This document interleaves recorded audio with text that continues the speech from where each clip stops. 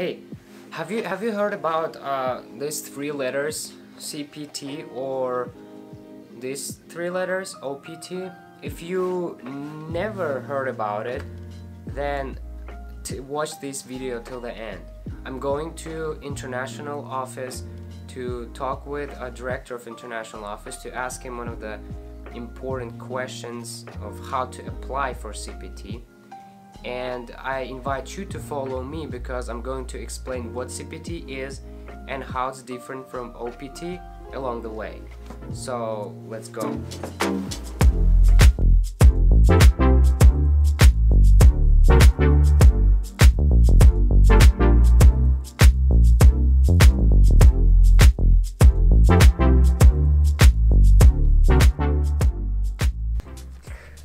Okay guys, uh, I'm in uh, Dr.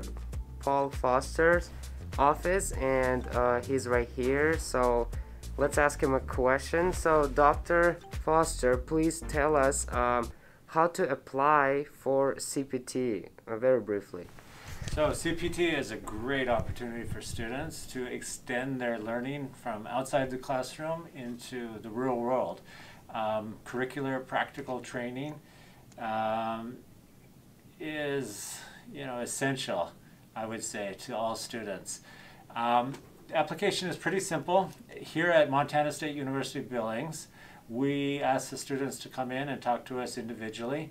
We hold seminars during the semester about the CPT program to give students information, but there are a couple of critical steps that students must take. First of all, CPT means you are doing an internship for um, a salary or volunteer, but you have to receive academic credit from a course in order to do a CPT.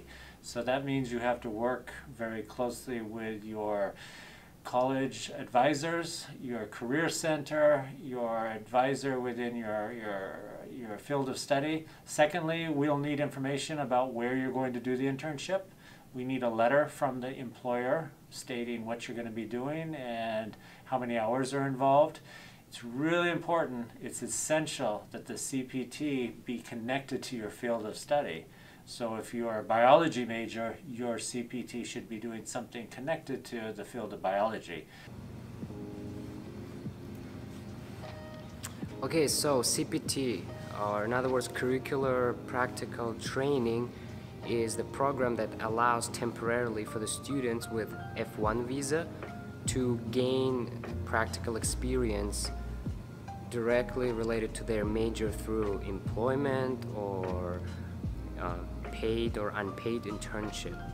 And there's two things. First thing is that you have to complete your CPT before graduate, graduating and second thing is that you can work full-time which is uh, 20 hours or more a week or part-time which is 20 hours or less a week.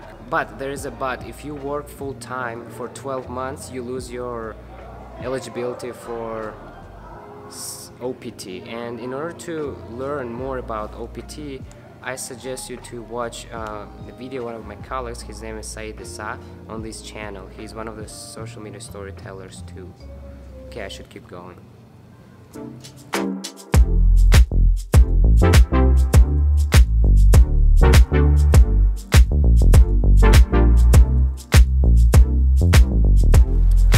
so the main difference between these programs, CPT and OPT, is the time period you're eligible for them and the type of work you're allowed to do. So there's three things. First things, you have to, you must complete your CPT before graduating. But with OPT, you can do it after or before. The second thing is that uh, with CPT, you can work for paid job or unpaid internship with OPT is mostly paid job. And the third thing is that uh, you will get course credits when you do your uh, CPT or it must be required by your major at university. Uh, but with OPT, um, uh, it's not required.